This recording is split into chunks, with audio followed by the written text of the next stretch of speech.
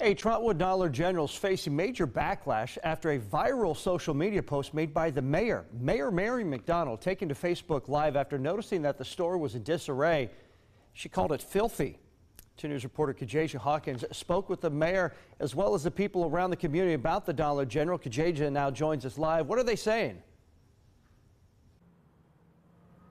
The mayor and the people that live here both agree that this business had been an issue, and they say it should have never gotten to these conditions. Shouldn't have got to that point. Um, you can't just say you're a business owner and and like you know you have like people part of your team or your employees there. You got to actually show up and be involved.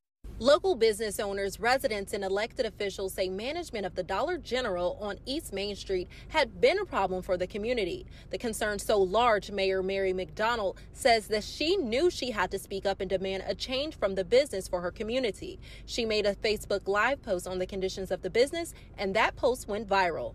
I had no idea it was going to get this level of attention, but it's obvious that other people feel this way. It's just that people don't take the time to call and to make the complaints and to do, they just tolerate it, get what they're going to get, and go out of there. My people deserve so much more.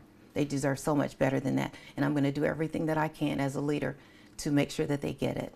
Mayor McDonald says that she visited the business a week prior to making the post, and when she returned, she was shocked to see two pit bull dogs in the business, workers out of uniform, those same workers playing vulgar music. She also says that she saw unorganized merchandise all over the store. Her post ultimately got that Dollar General closed to be cleaned on Tuesday, and the mayor says that while that's a good start, there's a lot more that needs to happen.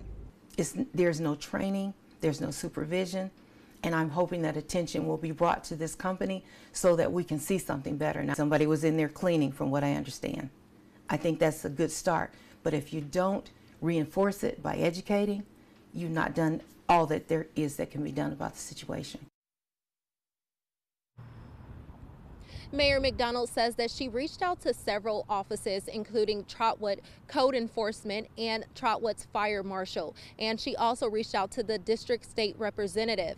And I reached out to the manager of this Dollar General and he could not comment, but the store is back open. Reporting live in Trotwood, Kajaja Hawkins, 2 News.